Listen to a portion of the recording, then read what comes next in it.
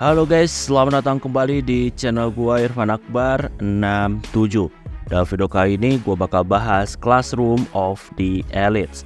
Atau lebih tepatnya sekarang gua bakal bahas Classroom of the Elite untuk tahun yang kedua. Yang mau gua bahas ini adalah volume 9,5 dari Classroom of the Elite tahun yang kedua. Video ini adalah part 2 dari pembahasan volume 9,5 Oh ya, video ini tuh adalah kelanjutan dari video sebelumnya. Jadi buat kalian yang belum nonton video pembahasan yang sebelumnya, kalian tuh bisa nonton videonya terlebih dahulu. Gue ingetin lagi kalau video ini tuh isinya tuh udah jelas spoiler untuk kelanjutan animenya. Jadi buat kalian yang gak suka spoiler, kalian bisa close video ini. Sebelum kita mulai, gue di sini mau ngingetin lagi ke kalian, jangan lupa untuk subscribe channel ini. Dan jangan lupa juga untuk nyalain loncengnya supaya kalian dapat notif kalau channelnya update video terbaru.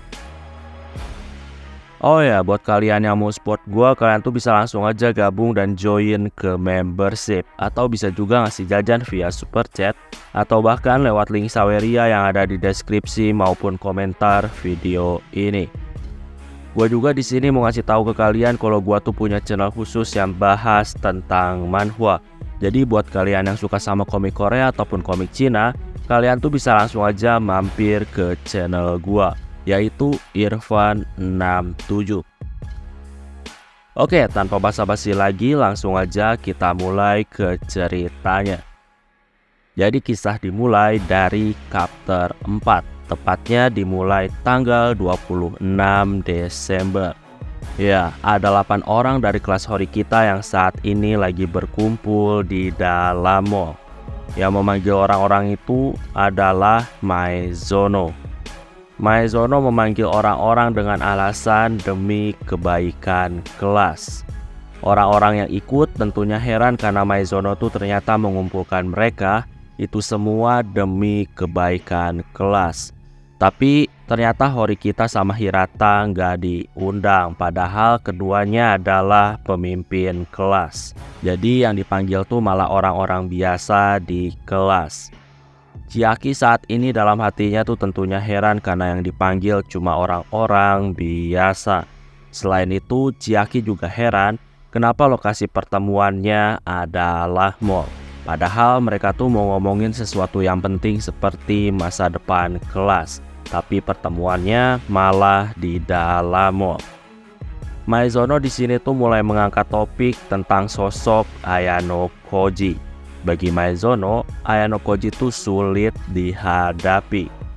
Orang-orang di sini tentunya nggak ngerti kenapa Ayano Koji disebut sulit dihadapi. Maezono di sini ngasih tahu kalau dia tuh kurang suka Ayano Koji karena terlalu suram maupun sulit bergaul. Makanya dari awal selama ini Maezono tuh selalu menjauhi Ayano Koji. Sudo di sini ngasih tahu kalau Ayano Koji sekarang tuh udah berubah. Maizono ngasih tahu kalau dari awal Ayano Koji sulit bergaul atau sulit bersosialisasi, harusnya Ayano Koji tuh nggak mungkin bisa mendapatkan Karuizawa. Maizono di sini ngasih tahu kalau Ayano Koji itu bukanlah orang yang suram maupun sulit bersosialisasi. Maizono di sini curiga kalau Ayano Koji pasti menyembunyikan sesuatu. Ya, ternyata Maezono tuh di sini nggak memanggil orang-orang yang berhubungan dengan Ayano Koji. Jadi yang dipanggil sama Maezono, mereka tuh nggak dekat dengan Ayano Koji. Sudo di sini tentunya nggak ngerti kenapa dia juga ikut diundang. Padahal Sudo tuh termasuk dekat dengan Ayano Koji. Dan bisa dibilang Sudo tuh tahu beberapa hal tentang Ayano Koji. Tapi ternyata dia tuh masih diundang sama Maezono. Maezono di sini ngasih tahu kalau Sudo tuh dibutuhin karena Maezono tuh nggak mungkin berdiskusi dengan orang-orang yang nggak tahu apa pun tentang Ayano Koji. Makanya seenggaknya harus ada yang tahu tentang Ayano Koji. Tujuannya udah jelas untuk mendapatkan informasi. Obrolan mengenai Ayano Koji sampai saat ini masih terus berlanjut. Di sini mereka juga membahas soal statistik Ayano Koji di aplikasi OAA. Ya, statistik Ayano Koji itu terus meningkat dan itu mencurigakan. Maezono juga di sini tuh mengakui kalau kemungkinan Ayano Koji itu kasusnya sama seperti Sudo yang terus berjuang keras dalam menaikkan statistiknya. Tapi sayangnya nggak ada bukti kalau Ayano Koji itu berjuang seperti Sudo. Jadi bisa dibilang statistik Ayano Koji itu sekarang mencurigakan. Maezono juga di sini ngasih tahu kalau Ayano Koji itu pasti menyembunyikan kemampuannya. Di sini diskusi ternyata mengarah ke hal yang negatif. Jadi orang-orang tuh ngomongin Ayano Koji.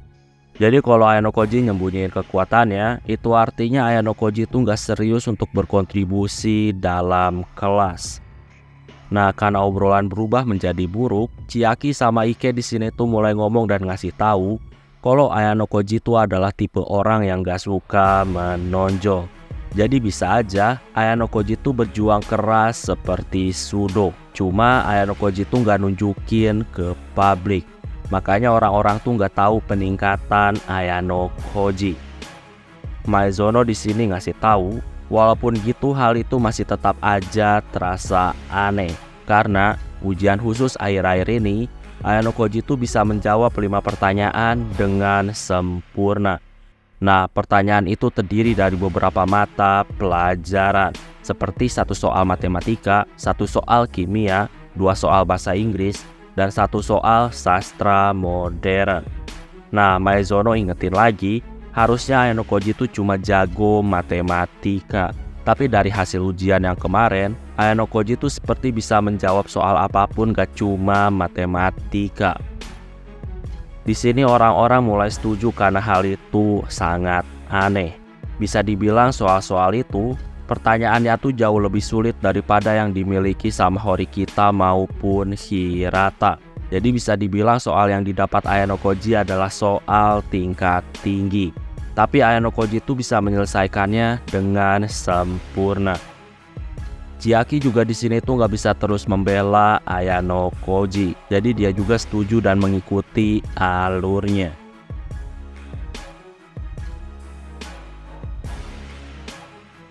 Ike di sini masih berpikir positif. Ike ngerasa kalau kemungkinan Ayano Koji itu punya feeling yang bagus makanya bisa menjawab semua pertanyaan-pertanyaan saat itu. Maezono tegasin, untuk menjawab soal penting tuh nggak cukup dengan feeling ataupun keberuntungan. Jadi Ayano Koji itu udah pasti menggunakan kemampuan. Maezono juga di sini tuh ngasih bukti-bukti lain kalau Ayano Koji itu punya nilai akademik yang tinggi. Maezono di sini nunjukin contoh dari ujian pulau terpencil. Di sana juga ada beberapa tes akademik dan Ayano Koji itu bisa menjawab beberapa soal yang harusnya tuh sulit dijawab sama siswa biasa. Selain itu, kalau Ayano Koji orang biasa, harusnya Hirata tuh nggak mungkin sepercaya itu sama Ayano Koji. Dan saking percayanya, Hirata sama Ayano Koji itu bahkan sampai saling memanggil dengan nama depan mereka. Maezono di sini ngasih tahu Horikita tuh adalah pemimpin kelas ini. Tapi Maezono yakin kalau Ayano Koji seenggaknya pernah bergerak di balik layar. Mendengar obrolan, Chiaki di sini tuh setuju dengan Maezono. Harusnya Ayano Koji punya nilai akademik A pada aplikasi. Maezono di sini nanya ke Sudo Apakah Sudotu tahu sesuatu yang belum didiskusikan tentang Ayano Koji atau enggak? Di sini Sudo berpikir, dia tuh ragu-ragu apakah dia harus kasih tahu tentang kekuatan fisik Ayano Koji yang kuat atau enggak. Setelah dipikirkan, Sudo ngerasa nggak perlu nyembunyiin. Sudo di sini ngasih tahu kalau Ayano Koji itu nggak cuma ahli dalam hal akademik, tapi kekuatan fisiknya juga kuat. Sudo di sini ngasih tahu ke orang-orang kalau kemampuan fisik Ayano Koji itu udah jauh melampauinya. Mendengar itu orang-orang tentunya terkejut karena Sudo ngomong gitu. Tentunya di sini Maezono tuh mau minta dasar dari kebenaran omongan Sudo yang bilang kalau fisik Ayano Koji itu melampaui Sudo. Sudo ngasih tahu Mungkin dia tuh bisa menang lawan Ayano Koji kalau soal basket. Tapi kalau untuk olahraga lain, Sudo tuh ngasih tahu kalau dia nggak mungkin menang. Ya, di sini Sudo tuh nggak mau ceritain tentang kejadian Ayano Koji melawan Hosen. Jadi saat ini Sudo mengarang cerita. Sudo ngasih tahu kalau dia tuh pernah bertarung melawan Ayano Koji dan Sudo tuh nggak bisa memukul Ayano Koji. Tentunya itu adalah kebohongan untuk nyembunyiin cerita sebenarnya dari insiden Hosen melawan Ayano Koji. Ya, dalam hatinya, bagi Sudo, ketika melihat insiden Hosen melawan Ayano Koji, Sudo tuh ngerasa nggak mungkin bisa menang kalau bertarung melawan Ayano Koji. Jadi bisa dibilang ceritanya tuh nggak benar-benar berbohong. Mendengar itu, Maizono di sini jadi yakin alasan Karuizawa memacari Ayano Koji itu semua karena Karuizawa tuh udah tahu kemampuan Ayano Koji dan Karuizawa tahu kalau Ayano Koji itu lebih hebat daripada Hirata. Makanya Karuizawa memacari Ayano Koji. Ike di sini ngasih tahu kalau dia tuh bakal bertarung melawan Ayano Koji dengan tujuan untuk pembuktian tentang kekuatan Ayano Koji.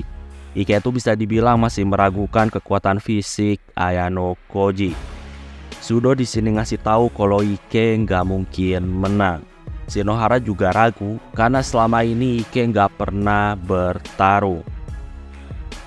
Diskusi saat ini masih terus berlanjut. Ya pada intinya, kalau Ayano Koji memang sangat hebat dalam hal akademik ataupun fisik, Maizono tuh ngerasa kalau mereka tuh harus meminta Ayano Koji untuk serius demi kelas. Karena dengan gitu, mereka tuh bakal bisa naik ke kelas A. Oh ya, mereka tuh di sini tuh punya rencana mau memintanya di depan kelas. Jadi kekuatan Ayano Koji tuh bakal diekspos di depan kelas.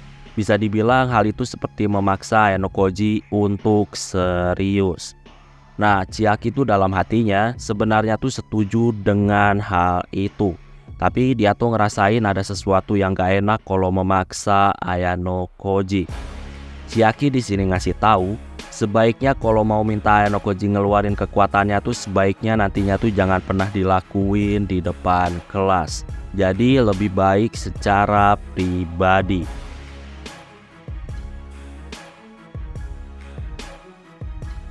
Judo juga di sini tuh setuju sama omongan Chiyaki. Jadi lebih baik ngomong ke Ayano Koji secara pribadi karena Ayano Koji itu orangnya nggak suka menonjol. Jadi bagi Sudo, nggak perlu melakukan provokasi seperti memaksa ataupun mengeksposnya di depan kelas. Karena takutnya nanti itu malah menjadi bumerang untuk kelasnya. Ya kalau Ayano Koji nggak suka nantinya tuh malah menjadi seperti Koenji dan akhirnya Ayano Koji tuh nggak tertarik membantu kelas. Onodera juga di sini ngasih tahu sebaiknya nggak perlu memaksa Ayano Koji untuk serius. Sejauh ini Ayano Koji tuh udah bekerja untuk kelas. Jadi bagi Onodera nggak perlu sampai maksa Ayano Koji untuk nunjukin kemampuannya. Apalagi sampai harus mengeksposnya di depan kelas. Maizono di sini ngerasa kalau nggak diekspos justru bahaya. Maizono ngasih tahu kalau dia tuh takut dan merinding sama Ayano Koji. Maizono ngingetin lagi kalau Ayano Koji itu orang yang udah memojokkan Kushida. Dan Ayano Koji adalah orang yang telah menyarankan Sakura untuk di drop out. Maizono juga ngingetin kalau Ayano Koji itu melindungi Kushida dan Ayano Koji menyarankan drop out Sakura berdasarkan kemampuan di aplikasi OAA. Mendengar itu, bagi Sudo harusnya saran Ayano Koji saat itu udah tepat karena mendrop out Sakura hal itu murni berdasarkan kemampuan bukanlah berdasarkan perasaan pribadi. Di sini tentunya Ike sama Shinohara terlihat kurang suka karena Sudo tuh ternyata setuju hal itu. Sudo di sini nggak ngerti kenapa orang-orang tuh tiba-tiba memandangnya dengan aneh. Sudo di sini dikasih tahu kalau Sudo tuh sekarang udah pintar dan berkembang. Makanya Sudo tuh setuju dengan gagasan ngeluarin orang berdasarkan kemampuan di aplikasi. Kalau Sudo bodoh seperti Sudo di masa lalu, Sudo tuh udah pasti nggak bakal setuju dengan saran drop out orang berdasarkan aplikasi. Maizono di sini ngingetin Sudo tentang kejadian Ayano Koji yang udah mojokin Kushida. Maizono ngasih tahu saat itu Ayano Koji itu melakukannya dengan sangat kejam tanpa emosi seperti robot. Sudo di sini ngasih tahu, saat itu sangat wajar kalau Ayano Koji itu bersikap kejam kepada Kushida karena situasinya saat itu memang memaksa Ayano Koji untuk bersikap kejam. Maezono di sini ngasih tahu kalau Ayano Koji dibiarin membuat keputusan, kemungkinan yang bakal di DO selanjutnya tuh adalah Ike maupun Shinohara. Ya pada intinya orang-orang di sini tuh masih diskusi dan mereka tuh diskusiin tentang Ayano Koji.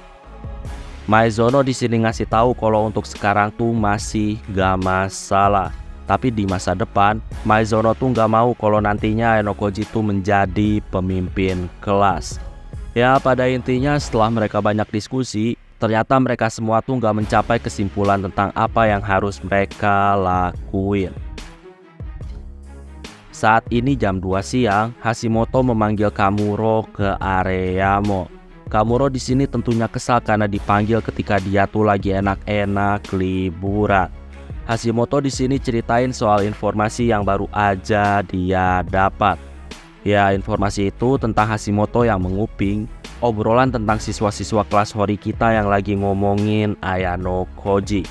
Hashimoto di sini ngasih tahu kalau pemimpin kelas B sesungguhnya tuh bukanlah Hori kita. Ya, dari cerita yang didengar sama Hashimoto, sosok Ayano Koji itu adalah sosok yang kejam. Jadi nggak mungkin manusia normal bisa membuang teman dekat untuk di drop out.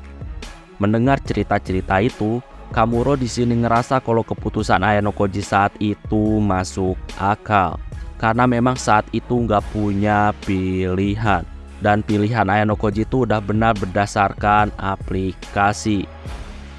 Hashimoto di sini setuju kalau itu adalah keputusan yang masuk akal. Cuma masalahnya saat itu Ayano Koji itu seperti membimbing kelas untuk mengikuti caranya. Padahal saat itu posisi Ayano Koji itu adalah orang biasa. Tapi faktanya Ayano Koji itu bisa mengendalikan kelas sampai mencapai kesimpulan. Hashimoto juga di sini tuh mulai ngumpulin puzzle-puzzle yang udah terjadi. Ya, Hashimoto tuh di sini ngumpulin puzzle tentang Ryuen. Bisa dibilang Ryuen tuh dari awal sekolah sangat barbar. Tapi tiba-tiba Ryuen tuh menjadi agak pendiam. Dan saat ini juga Ryuen sama Ayano Koji itu terlihat lebih sering berinteraksi. Jadi Hashimoto tuh curiga ada sesuatu.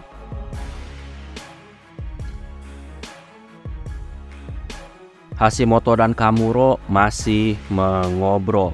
Intinya bagi Hashimoto, kemungkinan besar Ayano Koji itu jauh lebih hebat daripada Sakaya Nagi. Mendengar itu Kamuro saat ini tuh menjadi khawatir karena bisa dibilang itu artinya kelas mereka tuh dalam bahaya karena bisa aja kelas mereka turun peringkatnya. Ya pada intinya saat ini kekuatan Ayano Koji itu lagi diomongin sama beberapa orang. Jadi beberapa orang tuh mulai sadar sama kemampuan Ayano Koji. Hashimoto di sini ngasih tahu Kamuro kalau dia tuh bakal melakukan penyelidikan lebih detail tentang Ayano Koji. Hashimoto ngasih tahu kalau dia tuh masih belum paham sama jalan pikiran Ayano Koji. Jadi Hashimoto ini udah pernah mengamati Ryuen Sakayanagi maupun Ichinose. Dan Hashimoto tuh paham sama kelebihan maupun kekurangan mereka. Cuma masalahnya, untuk Ayano Koji, Hashimoto tuh benar-benar gak tahu apa pun. Makanya dia tuh butuh informasi-informasi supaya lebih mudah bisa mengerti tentang sosok Ayano Koji. Kamuro di sini ngelamun. Dia tuh mikirin tentang apa yang terjadi. Ya, Kamuro dari awal tahun lalu, dia tuh pernah dikasih perintah untuk menyelidiki Ayano Koji. Saat itu Kamuro nggak ngerti kenapa harus menyelidiki Ayano Koji. Tapi sekarang Kamuro mengerti alasannya. Tapi di sini Kamuro juga berpikir lagi, Karena Sakayanagi waktu itu ngasih dia perintah, itu artinya Sakayanagi tuh udah tahu dari dulu kemampuan Ayano Koji. Kamuro di sini gak ngerti kenapa Sakayanagi tuh bisa menilai sosok Ayano Koji yang sangat misterius. Hashimoto di sini mau kerjasama dengan Kamuro dalam mengumpulkan informasi tentang Ayano Koji. Di sini Kamuro tuh mau menyelidiki Ayano Koji tapi Kamuro tuh ngasih tahu kalau dia bakal bekerja sendiri. Jadi Hashimoto tuh nggak perlu deket-deket dengan Kamuro. Ya, alasan Kamuro mau bekerja sendiri itu semua karena Kamuro tuh nggak mau kalau Sakayanagi tuh menyadari bahwa Kamuro saat ini tuh bekerja sama secara sembunyi-sembunyi dengan Hashimoto. Jadi Kamuro tuh nggak mau ketahuan sama Sakayanagi. Hashimoto di sini mengerti dan keduanya pun bekerja sama. Di sisi lain saat ini tanggal 26 Desember di pagi hari, Ayano Koji bersih-bersih kamar karena kayak itu sekarang udah mulai sembuh dari sakitnya. Makanya Ayano Koji itu saat ini bersih-bersih kamar. Di malam harinya Ayano Koji saat ini pergi ke mall. Ayano Koji saat ini mau beli kue. Ayano Koji tuh saat ini berpikir untuk mendapatkan kue dengan murah karena harusnya stok-stok kue Natal yang gak kejual kemungkinan tuh bakal diobral dan dikasih diskon gede-gedean. Tapi sayangnya ternyata dia tuh gak mendapatkan kuenya. Walaupun ada kue Natal, harganya tuh ternyata nggak di diskon. Jadi bisa dibilang harus bayar dengan mahal. Dan karena hal itulah Ayano Koji itu mutusin untuk pulang. Ketika mau pulang, tiba-tiba Koji itu dipanggil sama Sakaya Nagi yang lagi duduk di bangku. Mereka berdua pun mengobrol. Ayano Koji di sini ngasih tahu kalau dia tuh mencari kue Natal yang murah, tapi ternyata nggak ada karena stoknya udah pada habis. Ayano Koji ngasih tahu kalau tahun depan dia tuh harus bisa mendapatkan kuenya. Sakaya Nagi di sini tersenyum. Sakaya Nagi ngasih tahu nggak ada jaminan di masa depan kalau para siswa tuh bisa makan kue Natal di sekolah ini. Sakaya Nagi juga ngasih tahu kalau Ayano Koji ketangkep sama ayahnya, maka Ayano Koji tuh bakal pulang ke White Room dan Ayano Koji itu tahun depan gak bakal bisa makan kue Natal. Mendengar itu, dalam hatinya, Ayano Koji saat ini jadi kepikiran untuk beli kue Natal walaupun harganya mahal Karena bisa aja tahun depan dia tuh gak ada lagi di sekolah ini Ketika lagi ngobrol, saat ini gak lama tiba-tiba muncullah Sanada dari kelas A Ayano Koji sama Sanada pun di sini mereka saling berkenalan. Di sini ternyata Sanada tuh penasaran sama Ayano Koji. Ayano Koji itu bisa dibilang akhir-akhir ini terlihat menonjol di kelasnya Hori kita. Sanada juga di sini menarik Ayano Koji agak jauh dari Sakaya Nagi. Sanada di sini tuh penasaran sama hubungan Ayano Koji dan Sakaya Nagi. Sanada di sini ngasih tahu kalau Sakayanagi itu adalah pemimpin kelas A dan Sakayanagi itu bukan orang biasa yang bisa didekati sembarangan. Makanya sekarang Sanada tuh penasaran sama hubungan Ayano Koji dan Sakayanagi. Ayano Koji di sini cuma ngasih tahu kalau dia tuh pernah ngobrol sama Sakayanagi ketika ujian. Jadi hubungan dia sama Sakayanagi cuma sebatas itu.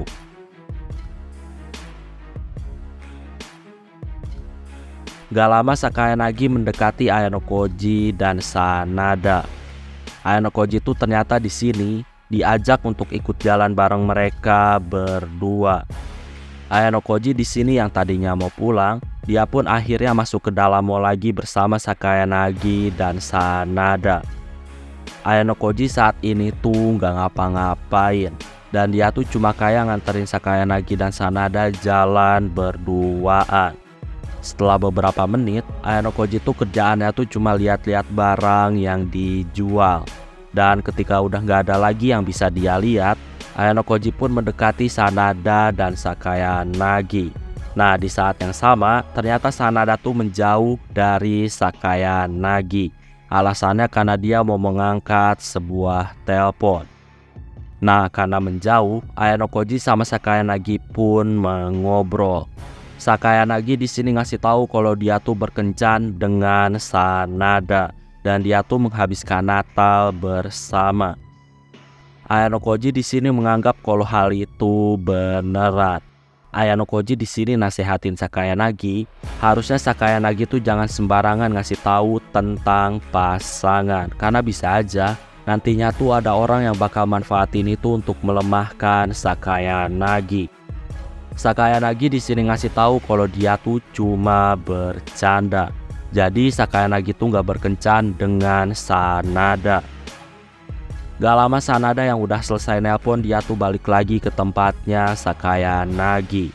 Sakaya Nagi di sini ngasih tahu Ayano Koji, Sanada tuh berkencan dengan Mia dari kelas 1B. Jadi Sakayanagi itu cuma ngasih saran kepada Sanada dalam memilih hadiah untuk Mia. Ayano Koji di sini tuh nggak ngerti kenapa dia tuh harus ikut sama Sanada dan Sakayanagi yang mencari hadiah untuk Mia. Sakayanagi ngasih tahu alasan Ayano Koji diajak tuh supaya nggak ada yang salah paham tentang mereka. Jadi dengan hadirnya Ayano Koji, gak bakal ada gosip tentang Sakaya Nagi dan Sanada yang jalan barengan. Singkatnya setelah ngobrol mereka semua pun berpisah. Ayano Koji saat ini kembali ke asrama. Dan ketika malam, Ayano Koji itu ditelepon sama Sakaya Nagi. Untuk awal Sakaya Nagi tuh nanyain tentang kondisi Kei. Setelah tahu kondisi Kei, Sakaya Nagi ngajakin Ayano Koji untuk ketemuan. Singkatnya Sakayanagi mendatangi kamar Ayano Koji. Ayano Koji saat ini tuh melihat penampilan Sakayanagi tuh yang terlalu bagus hanya untuk pertemuan biasa. Di sini Sakayanagi juga ngasih hadiah kepada Ayano Koji. Ya, itu adalah hadiah Natal dari Sakayanagi. Sakayanagi tuh ngasih kue Natal. Sakayanagi saat ini ngasih tahu kalau dia tuh mau menemani Ayano Koji yang lagi sendirian sejak Natal. Singkatnya Sakayanagi masuk ke kamar Ayano Koji dan Ayano Koji tuh buat kopi untuk Sakayanagi. Nah ketika lagi buat kopi, Sakayanagi sama Ayano Koji tuh ngobrolin sedikit tentang White Room. Di sini Ayano Koji pun tahu kalau Sakayanagi tuh nggak tahu detail tentang White Room. Di sini juga diketahui Ayano Koji tuh ngerasa kalau dia keluar dari sekolah ini ataupun lulus dari sekolah ini, kemungkinan besar Ayano Koji tuh bakal balik lagi ke White Room. Dan kemungkinan besar dia tuh bakal menjadi instruktur di sana. Ayano Koji ngerasa kalau dia tuh bakal dikasih tanggung jawab untuk ngajarin penerusnya. Mereka saat ini masih lanjut mengobrol dan tentunya sambil makan kue. Setelah ngobrol, Sakayanagi ngajak Ayano Koji untuk jalan-jalan di luar. Setelah dipikirkan, karena Ayano Koji lagi gabut, akhirnya Ayano Koji pun mengiyakan. Singkatnya Ayano Koji sama Sakayanagi, mereka tuh jalan berdua di tengah dinginnya malam dengan suasana bersalju. Nah, di sini Sakayanagi kesulitan jalan pakai tongkat karena sekarang tuh areanya bersalju dan Sakayanagi itu sekarang hampir jatuh. Untungnya Enokoji itu dengan sigap memegang bahu Sakayanagi. Jadi Sakayanagi nggak jadi jatuh. Di sini Sakayanagi tertawa pelan. Ayano di sini nggak ngerti kenapa Sakayanagi itu malah senang padahal dia hampir jatuh. Sakayanagi ngasih tahu kalau dia tuh yakin bahwa Ayano Koji pasti bakal bantu dia ketika mau jatuh. Makanya Sakayanagi saat ini tertawa. Saat ini Ayano Koji tuh nanya ke Sakayanagi tentang alasan kenapa Sakayanagi tuh ngajak Ayano Koji jalan-jalan.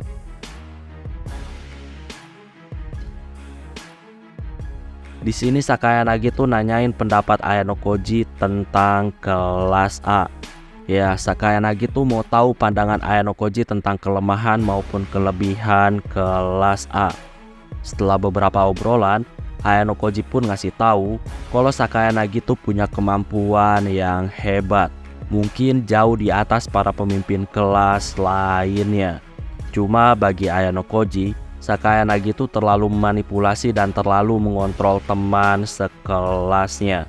Jadi istilahnya orang-orang kelas A tuh cuma mengikuti Sakayanagi. Jadi kurang ada rasa persahabatan yang terjadi di kelas A. Ayano Koji ngerasa harusnya Sakayanagi tuh bisa lebih dekat dengan siswa kelas A.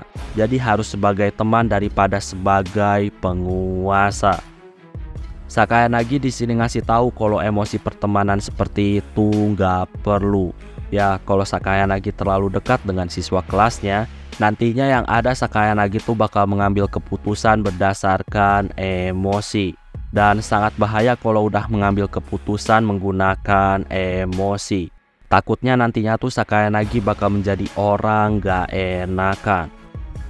Ayano Koji juga di sini nanyain tentang alasan kenapa Sakayanagi tuh menyuruh orang untuk ngawasin dia. Ayano Koji tuh ngerasa akhir-akhir ini selalu aja ada orang dari siswa kelas A yang selalu mengawasinya. Sakayanagi ngasih tahu kalau dia tuh nggak ngasih perintah apa pun kepada kelas A. Sakayanagi ngasih tahu kalau akhir-akhir ini Ayano Koji tuh terlalu menonjol dan akhirnya menjadi pusat perhatian. Makanya siswa-siswa itu saat ini tuh mengawasi Ayano Koji dan akhirnya mereka tuh ngasih laporan kepada Sakaya Nagi. Setelah ngobrol Ayano Koji di sini ngerasa kalau sekarang tuh udah waktunya untuk pulang. Tapi Sakaya Nagi ngasih tahu kalau Ayano Koji mau pulang, maka Ayano Koji tuh bisa pulang sendirian. Sakaya Nagi ngasih tahu kalau saat ini tuh pemandangannya sangat indah. Jadi dia tuh masih mau di luar walaupun saat ini kondisinya sangat dingin. Ayano Koji mengerti dan dia pun mau pergi. Tapi ketika jalan 10 langkah, Sakayanagi pun memanggil Ayano Koji. Sakayanagi tuh mau ngomong sesuatu kepada Ayano Koji. Di sini Sakayanagi juga menyuruh Ayano Koji untuk gak mendekat. Jadi sekarang tuh posisinya mereka tuh ngobrol tatapan muka tapi jaraknya tuh terpisah 10 langkah. Sakaya Nagi ngasih tahu kalau terkadang dia tuh harus membulatkan tekadnya untuk berani. Dan sekarang dari jarak 10 langkah ini adalah jarak yang ideal supaya Sakaya Nagi berani ngomong sesuatu. Sakayanagi di sini ngasih tahu kalau dia tuh suka sama Ayano Koji. Tentunya suka dalam artian lawan jenis. Sakayanagi di sini ngasih tahu kalau dia tuh sekarang gak butuh jawabannya. Sakayanagi tuh cuma mau kalau Ayano Koji tahu bahwa Sakayanagi tuh suka sama dia. Jadi sekarang Ayano Koji tuh gak perlu menjawabnya. Dan Ayano Koji sekarang boleh pergi. Setelah mendengar itu Ayano Koji pun dia pergi. Ya setelah Ayano pergi terjadilah monolog dari Sakayanagi di akhir chapter 4. Jadi setelah ngungkapin perasaannya Sakayanagi itu tersenyum dan dia tersipu malu. Diketahui juga Ternyata pertemuan Sakayanagi dan Ichinose di akhir semester 2 Ternyata pertemuan itu menyadarkan Sakayanagi kalau dia tuh mencintai Ayano Koji. Awalnya Sakayanagi tuh selalu mengira kalau dia tuh tertarik sama Ayano Koji. Itu semua karena dia tuh pengen buktiin bahwa jenius dari lahir tuh nggak mungkin bisa kalah dari jenius yang palsu. Jadi bisa dibilang, awalnya Sakayanagi tuh menganggap kalau rasa tertarik kepada Ayano Koji itu cuma rasa tertarik sebagai pembuktian. Tapi setelah bertemu dengan Ichinose, ternyata Sakayanagi menyadari kalau perasaannya tuh adalah sebuah cinta. Diketahui juga, Sakayanagi tuh udah membaca semua rencana yang udah disusun sama Ayano Koji untuk masa depan. Dan sekarang Sakayanagi tuh nggak mau biarin rencana itu berjalan dengan lancar. Sakayanagi tuh mau melihat ekspresi Ayano Koji yang tahu kalau rencananya telah gagal. Sakayanagi tuh mau ngeluarin emosi Ayano Koji dan Sakayanagi tuh mau menghancurkannya. Itu semua harus dilakuin Sakayanagi karena dia tuh mencintai Ayano Koji. Sekaya Nagito sekarang sangat gak sabar menantikan semester 3.